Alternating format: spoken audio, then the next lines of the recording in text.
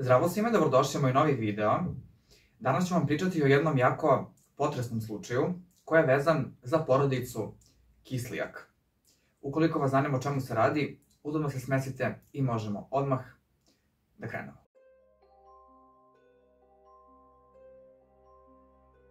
Vera i Andrej Kislijak su na prvi pogled delovali kao jedan normalan, srećan bračni par.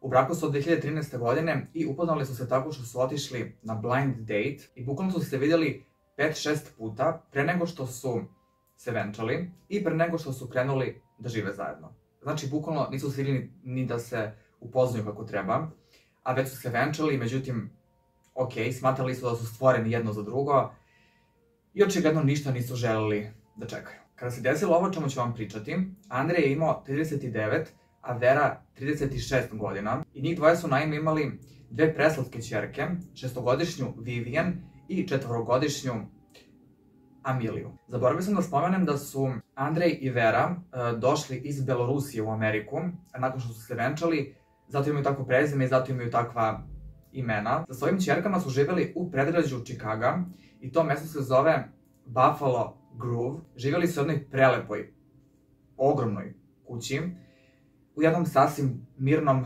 porodičnom naselju. U jednom trenutku e, njegova majka Lilija, koja je imala 67 godina, je došla da živi sa njima, preselila se kod njih. Dakle, e, sada ih je u kući bilo petorom i sve funkcionisalo kako treba, to jest živeli su potpuno normalno. To jest, doći ćemo i do toga. Ajde sad, ajde, ajde, ajde. Verini bliski ljudi su rekli da je bila jedna predivna osoba i brižna i posvećena majka. E, nije ih imala puno, jer je većina njenih prijatelja bila živala u Belorusiji. Međutim, imala je par prijateljica i u Americi, mislim, logično upoznala je neke nove ljude. Dakle, svi su imali samo reči hvale za nju. Isto tako i Andrej je imao jednog jako dobrog prijatelja i on je za njega rekao da je bio jako dobar čovek i da nema bukvalno ništa loše da kaže za pljunuo sam. da nema bukvalno ništa loše da kaže za njega. Andrej, čekajte sad. Joj.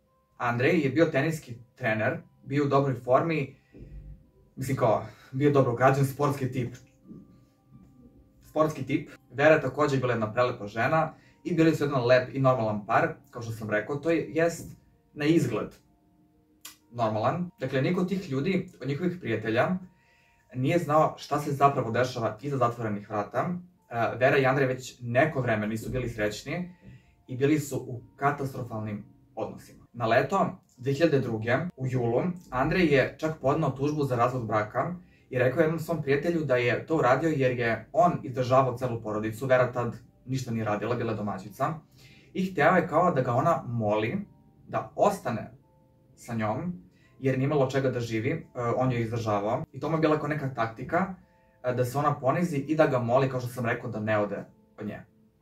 Međutim, Vera nije bila u tom fazonu. E, Andrej, Andrej nije postigao to što je hteo, već je i ona želela da se razvede od njega i nije više želela da bude sa njim. Kada je krenuo ceo taj proces oko razvoda, e, nastaje pravi pravcati haos i u narednim mesecima je skoro 10 puta iz njihove kuće bila pozvana policija. Policija uglavnom zvala Vera, međutim, Nekoliko puta ih je čak zvao i Andrej. Sada ću pokušati da vam lepo redom objasnim o čemu se radi, e, zašto su zvali policiju i tako dalje, kako biste naravno imali uvid u ceo ovaj slučaj.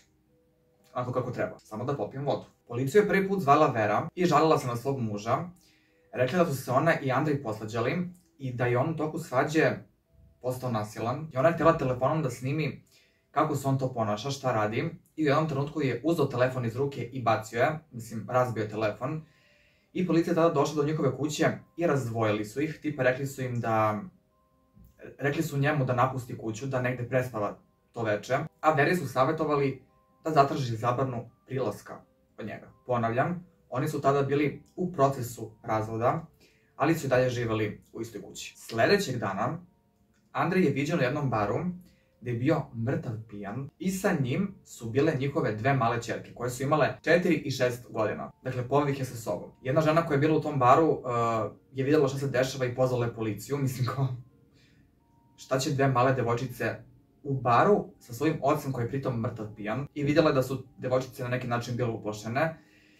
E, na trenutak, je, na trenutak ih je čak ostavio i same, izašao je Ned, dakle devojčice su u jednom trenutku bile i same u tom baru. I ta žena koja je pozvala policiju im je prišla u jednom trenutku i pitala ih je kako su, da li, da li kao sve okej. Okay, i starija čerka je rekla da se plaši da se vrati kući jer ih tamo tata tuče. Umeđu vremenu Andrej se vratio unutra i došla je policija i kada je policajac pitao malu devojčicu da li je istina to što je rekla toj ženi, mislim ta žena je rekla policiji šta je devojčica ispričala. I ona je rekla ne, nije istina, mislim, pitali su je to u e, njegovom prisustvu, naravno da će da kaže ne, mislim, vjerojatno se plašila da kaže. I policija je tada pustila Andreja i on je otišao sa svojim čerkama, verovatno ih je odveo kući, sad samo ne znam iskreno da li se i on vratio ili ne zbog onog incidenta od prošlog dana. Nekoliko dana kasnije, Vera ponovo poziva policiju i govori im da je muž pretio da će uraditi nešto njoj i njihovoj deci. Policija odlazi do njihove kuće i čekali su Veru da se spakuje da, i da izađe sa svojim čerkama odatle. I Andrej je bio jako besan zbog toga i nije dozvoljavao da ona odvede decu. Međutim, policija mu je rekla da ona ima pravo na to, nakon čega još više pobesao, onako baš je bio drzak prema policiji, krenuo da viči i slično. Iskreno, e, nemam informaciju gde je ona te večeri otišla sa decom, ali to je svakako sada i nebitno, verovatno je otišla kod neke prijateljice, svakako.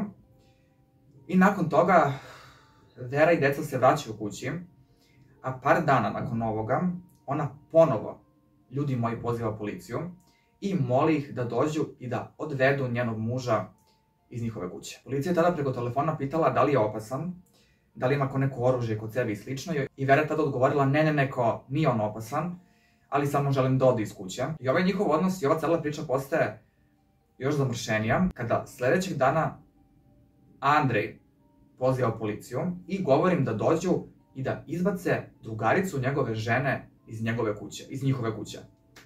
Jer ne želi da bude tu i kao nije dozvoljeno. Policija mu rekla kao, molim, kao, želite da odvedemo prijateljicu vaše žene iz vaše kuće? I on kao, da, baš to želim. Ok. Rekao u smislu da ne sme niko da dolazi ovde i da njegova žena ne sme da ima nikakve goste. Rekao bih da je to bio jedan jako toksik, mislim, toksičan odnos u pitanju. I jesu oni bili u procesu razvoda, ali vidite i sami da su se stalno, po znacima navoda, vraćali jedno drugom. Ona ode iz kuće, pa se vrati sa decom. Njega policija odvede jer je ona to želela, pa mu na kraju dozvoli da se vrati nazad i tako u krug. I postoji informacija da je Vera jednom na suđenju rekla kako je Andrej stalno dolazio kući e, mrtav pijan i pod dejstvom raznih narkotika, kao i to da je dovodio neke žene tu na njene oči. Takođe, rekla da je pretio da će, gospode Bože, da će odseći glavu i da će to poslati njenoj porodici koja je živala u Belorusiji.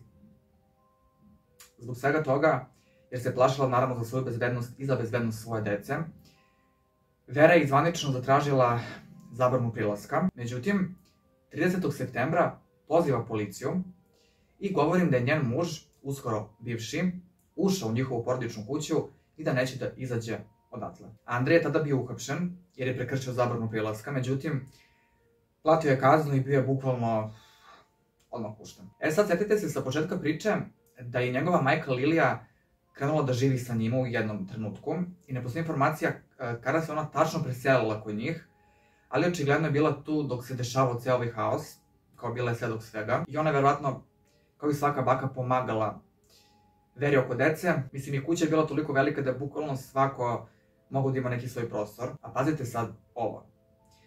Početkom novembra 2022. Andreju je istekla zabrana prilaska i mogo je ponovno da se lagano vrati kući. Međutim, sud mu je savjetovao da to ne radi, da to nije dobro za njega ni za njegovu uskoro bivšu ženu i da je bolje da se i dalje drži po strani. Svakako nekako je uspio da ponovo izmanipuliše veru. Ja, bože. Znate da ga je ranije ona stalno puštala da uđe u kuću, tako da je i sad zamolio da se vrati, da vidi svoju decu i slično, i ona mu je dala dozvolu. Rekla mu da može da dođe kod njih, sad samo ne znam da li ona želela da oni ponovo svi budu porodica, da li je želelo da se dalje razvede od njega ili kao odustala od toga, svakako pucala kada se vrati kući, a samo mesec dana kasnije, tačnije 30.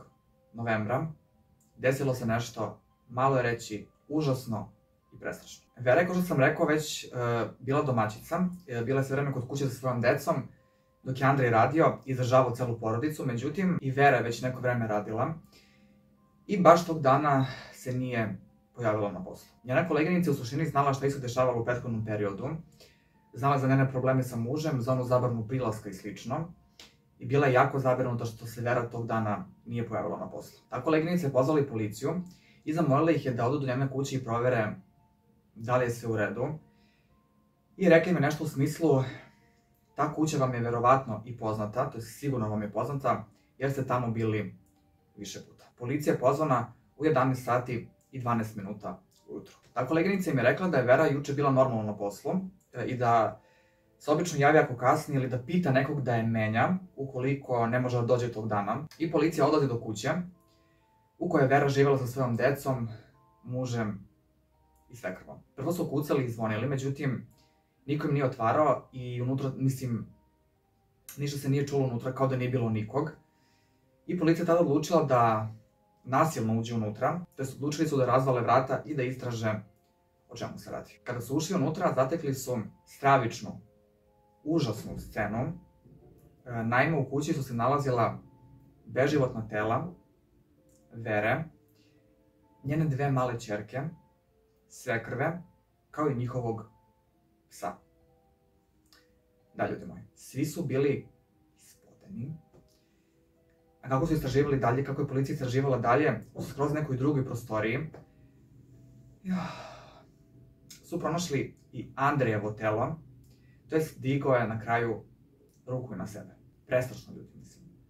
Šta da kažem? Znači, čovek je na kraju ubio celu svoju porodicu i na kraju sebe. Pitaj Boga šta mu se desilo, da li ima neko pomračenje ili šta, da li je stvarno bio toliko loša osoba, psihopata, mislim ko će ga znati. Kada se pročulo šta se desilo, svi su bukvalno bili u šoku i neke komšije su rekli da su znali da je Vera imala, imala probleme sa njim i da kao ne mogu da veruju da je to uradio na kraju.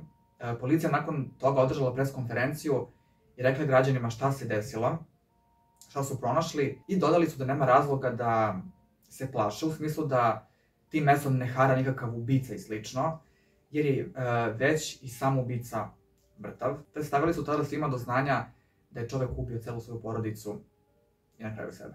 Mislim da se još uvijek nije otkrila da li, na primjer, Andrej bio pod dejstvom nečega kada je to uradio i postoje mnoga pitanja na koje, nažalost, još uvek nemamo odgovor, ali eto, nadam se da će se jednog dana sve razotkriti. Svakako, tu se ova tragična priča i završava. To je, to je bilo sve za ovaj video i sve za ovaj slučaj šta da kažem, mislim, tragedija, ogromna tragedija. Vi mi pišite kako vam se čini sve ovo i šta mislite o svemu ovome, a mi se vidimo vrlo, vrlo brzo un ovido.